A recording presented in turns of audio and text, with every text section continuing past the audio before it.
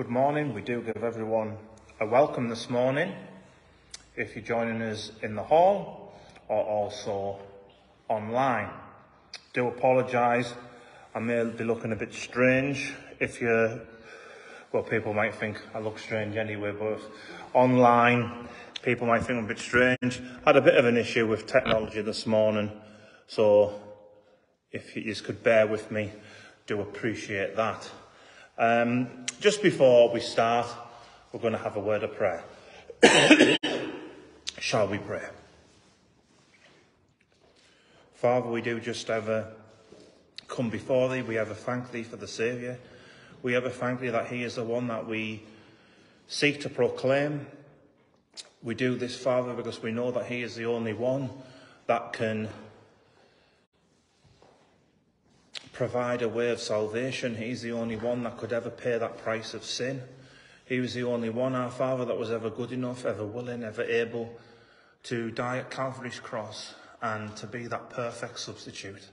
Father, we would just pray that if there are any even in this meeting, either online or in person here, that are not yet saved, that today would be that wondrous day when they would come to know the Lord Jesus Christ for themselves and accept him as their Saviour. So, Father, we do pray for help. We need Thee in everything that we seek to do. And we look to Thee now in His precious and worthy name. Amen. Now, if you have a Bible, please, could we turn to the book of Matthew? The book of Matthew.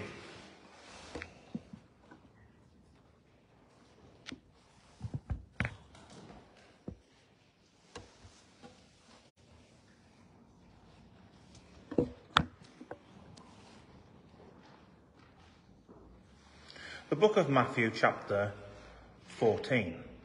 The book of Matthew, chapter 14. and we're going to start reading from verse 13. Matthew chapter 14, and we're going to be reading from verse 13.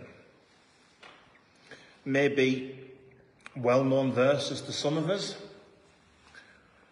And this is what it says. When Jesus heard of it, he departed thence by ship into a desert place.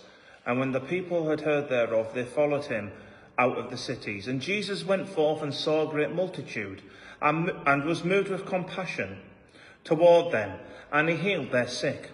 And when it was evening, his disciples came to him, saying, This is a desert place, and the time is now past.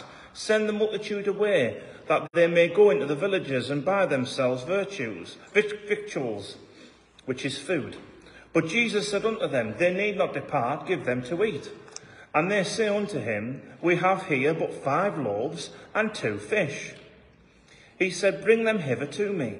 And he commanded the multitude to sit down on the grass, and took the five loaves and the two fishes, and looked up to heaven. He blessed and brake, and gave the loaves to his disciples, and the disciples to the multitude. And they did all eat, and were filled. And they took up the fragments that remained, twelve baskets full. And they that had eaten were about five thousand men, beside women and children. And straightway Jesus constrained his disciples to get into a ship and to go before him unto the other side, while he sent the multitudes away. And when he had sent the multitudes away, he went up into a mountain apart to pray. And when the evening was come, he was there alone. But the ship was now in the midst of the sea, tossed with waves, for the wind was contrary. And in the fourth watch of the night, Jesus went unto them, walking on the sea. And when the disciples saw him walking on the sea, they were troubled, saying, It is a spirit. And they cried out for fear. But straightway Jesus spake unto them, saying, Be of good cheer, it is I, be not afraid. And Peter answered him and said, Lord, if it be thou,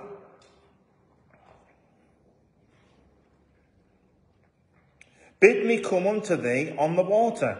And he said, Come. And when Peter was come down out of the ship, he walked on the water to go to Jesus. But when he saw the wind boisterous, he was, a, he was afraid and beginning to sink, he cried, saying, Lord, save me.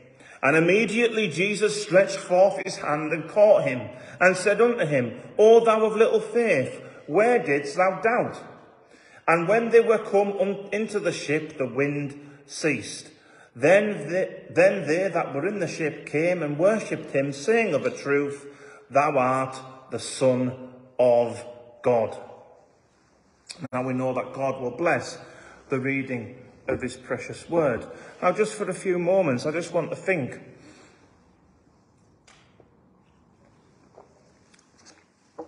Think again on these verses that we've looked at this morning. Now, for many, the title of the first part that we read, for many it would be the feeding of the 5,000. The feeding of the 5,000, at least 5,000. The feeding of the 5,000. And we find that people there, they came to hear concerning the Lord Jesus. They wanted to see some miracle that he would do, and he helped many sick and lame. And we read that. And then we come further through our chapter that we read this morning, and we read of how the Lord Jesus Christ, he told the disciples after he'd done the miracle of the feeding of the 5,000, of how he told the disciples to go to the other side, and he would meet them, and of how he was going to send the the, those that had gathered away. He was going to send them away.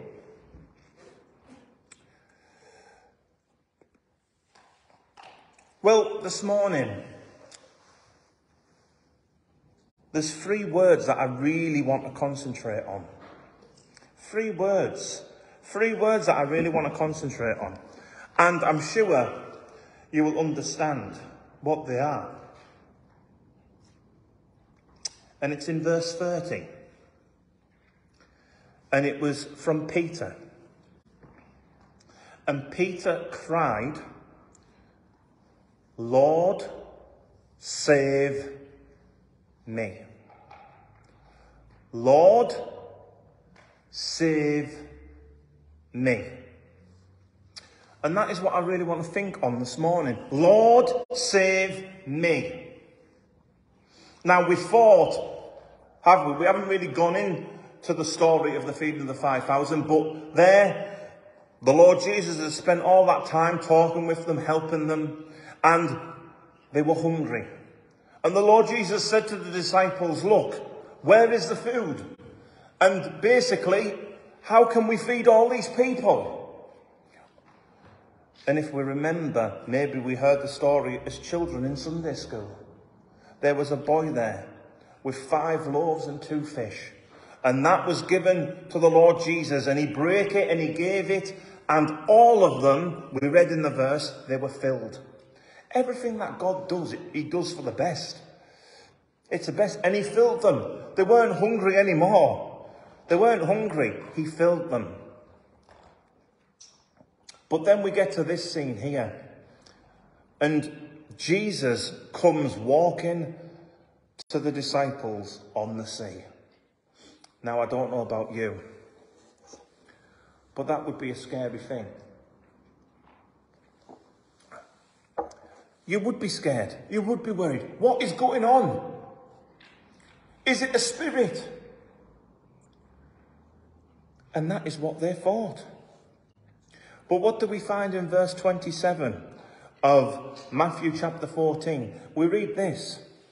The Lord Jesus said unto them in verse 27, Be of good cheer, it is I, be not afraid.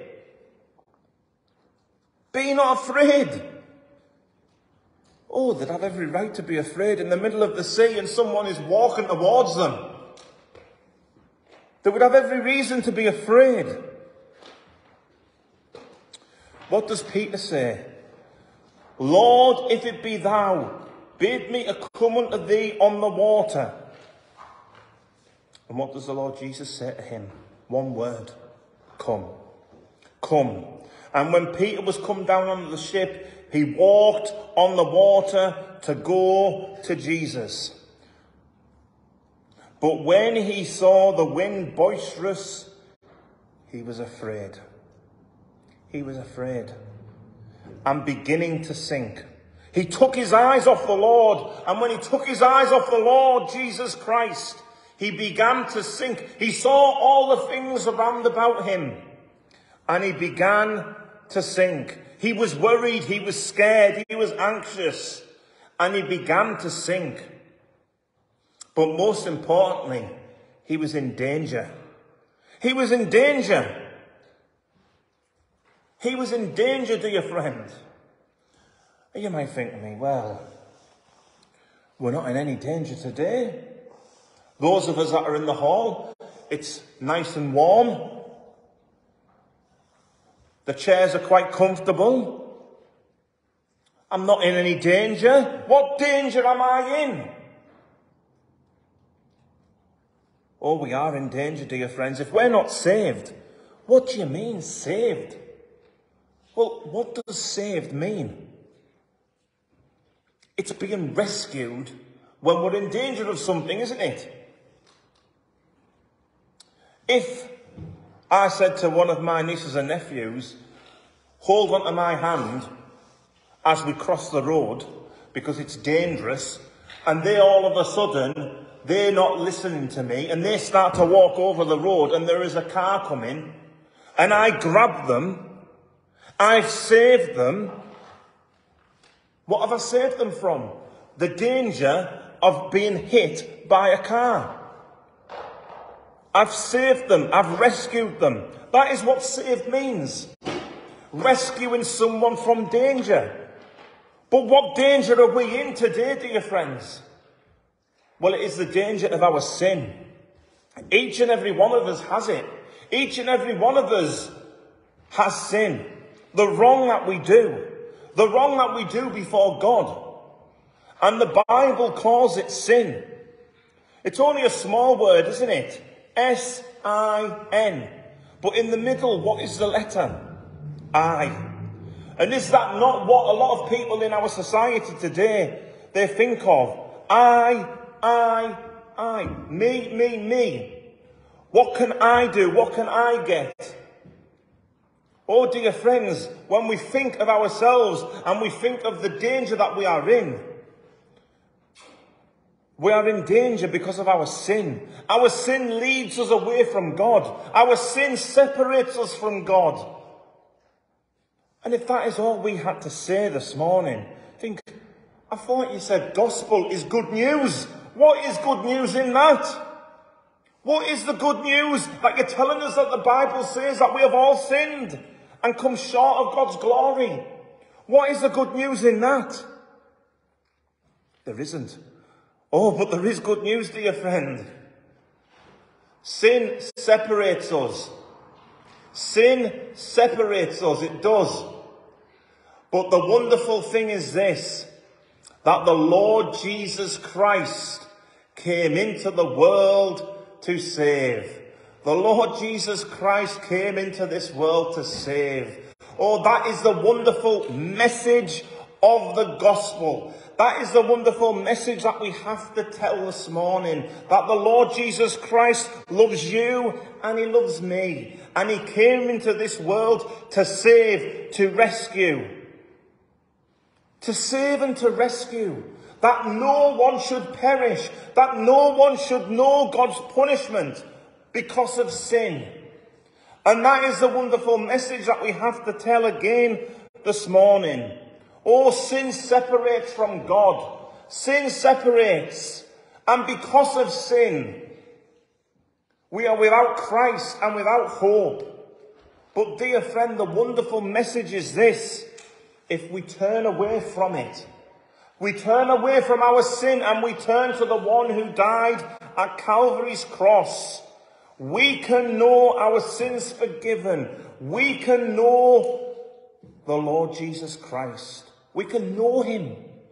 Many people will say no to the Lord Jesus.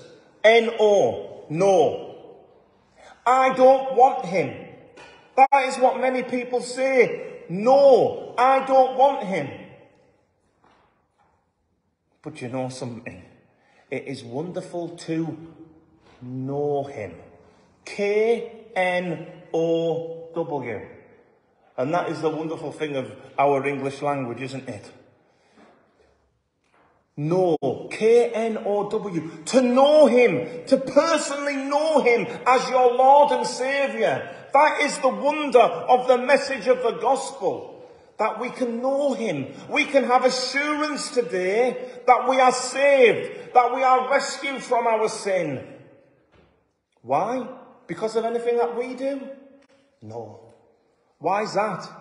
Because, like we've said, the Bible tells us we've all sinned. We cannot save each other because we're in the so, same condemnation. We, we have the same problem. The only one that could ever save us, the only one that could ever rescue us from our sin, was the Lord Jesus Christ. Why? Because he's the only one that never sinned. He's the only one that never did anything wrong. He's made it possible that we can be made right with God through the giving of himself. Oh, that is it, dear friend, the giving of himself. Well, we've been reading in Matthew chapter 14, and we've been reading of Jesus walking on the water to the disciples, and Peter, he comes out. He comes out walking on the water. And he's looking towards the Lord Jesus Christ. And once he's looking to him, once he's looking to him and he's watching him, he's okay. He's okay. And he's going along fine. But then he sees all round about. He sees the water and the waves. He sees everything. And he starts to fear. And he starts to sink. And he starts to see all that is around. Oh, dear friend, we can look at everything around us. We can get took up with the pleasures of this world. And all that it will do is destruct. It is only for a time. The time that we have is only for a time. We don't live forever, do we? Not on this earth, we don't. We don't live forever. The Bible tells us we do. Our soul lives forever.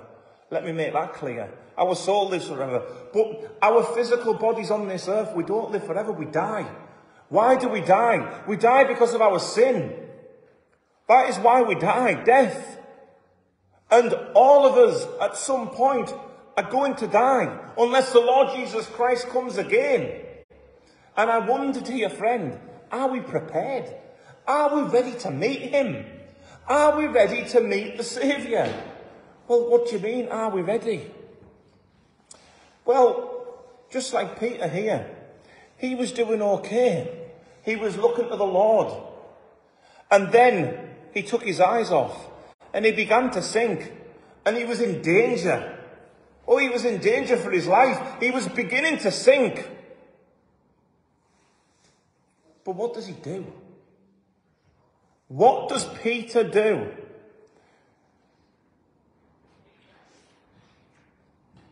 Let me just get it.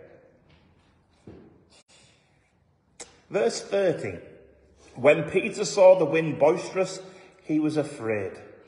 And beginning to sink, he cried out, Lord, save me. Lord, save me. Oh, dear friend, if he didn't cry those words, Lord save me, he was going to drown. He was going to die. And what do we find? Verse 31, immediately.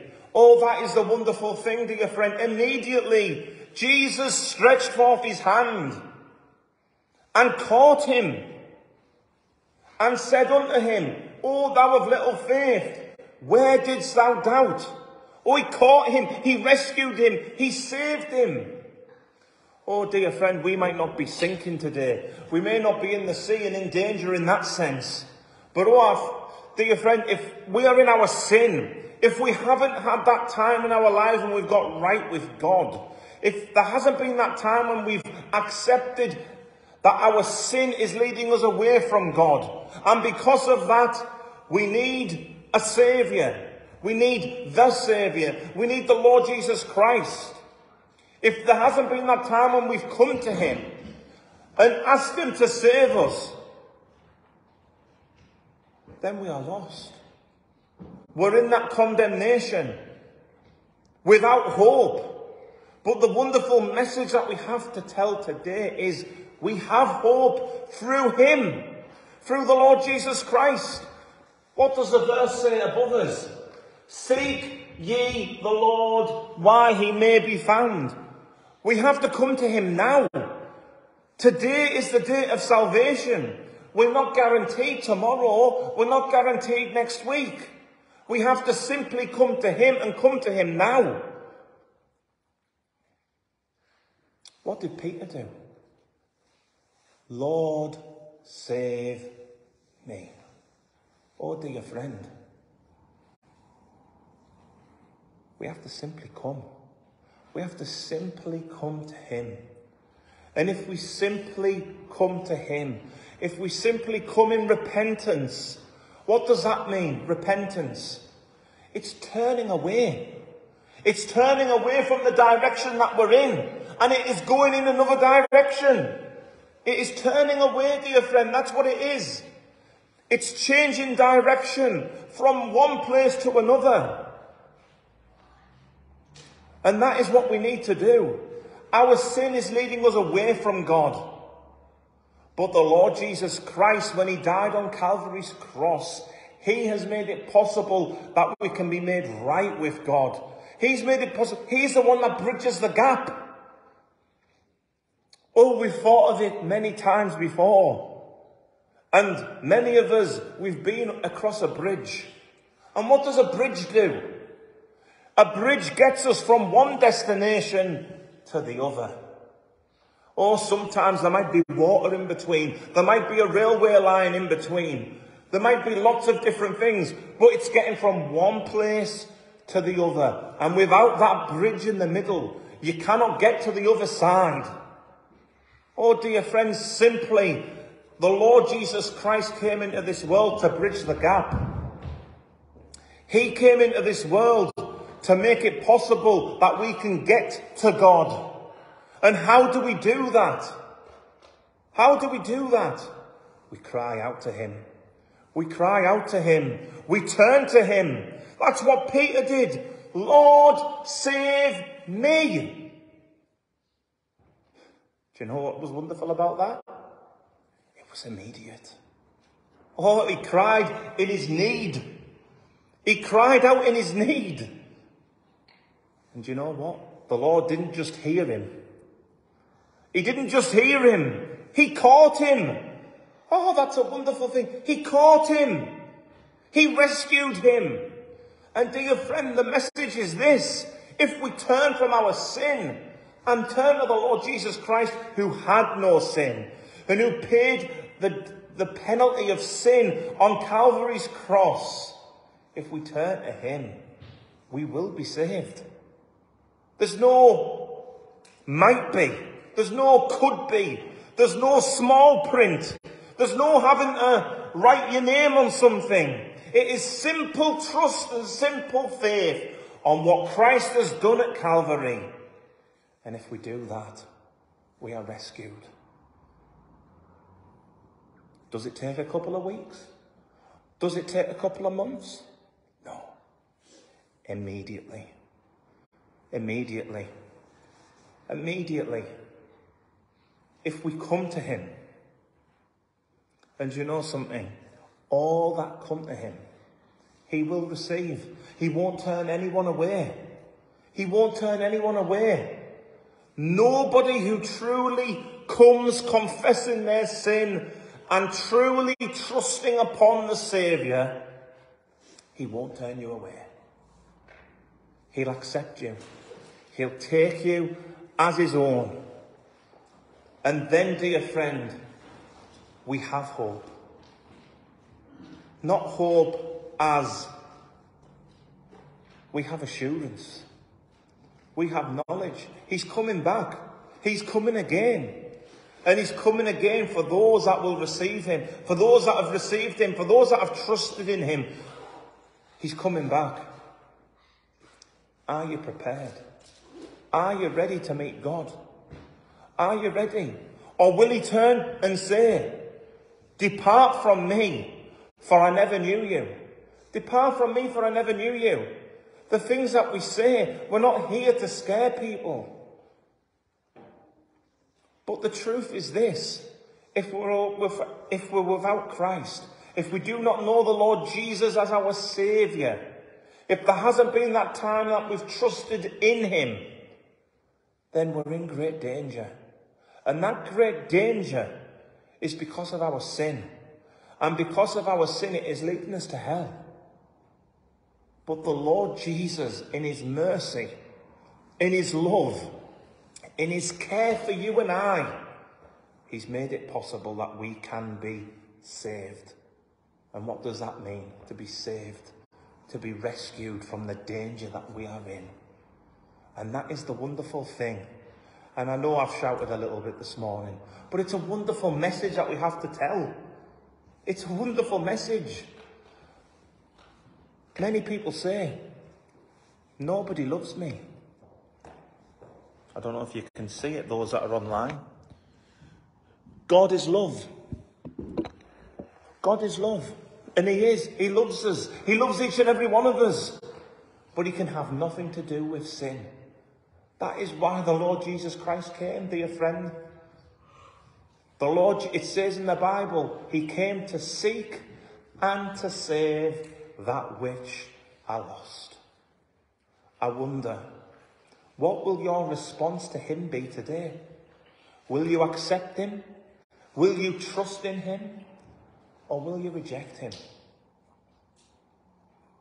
You might just say, well, I'm undecided. I'm just not going to do anything about it. Well, dear friend, you've made a choice then, haven't you? There's no undecided today. Either we're with Christ or we're without Him. Either we trust in Him or we don't.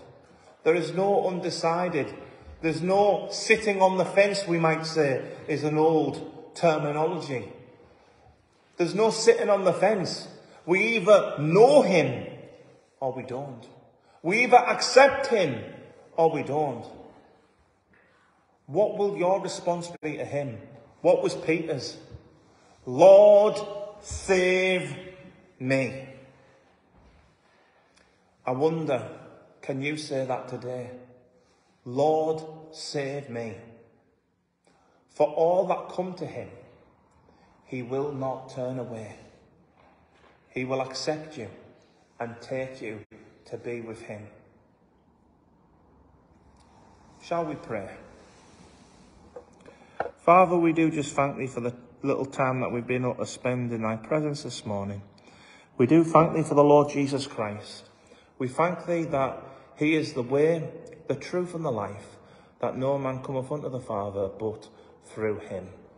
So, Father, we do just thank thee for time spent together, and we do just pray for thy help and mercy to be upon each and every one of us. We do just give thee thanks now in his precious and worthy name. Amen.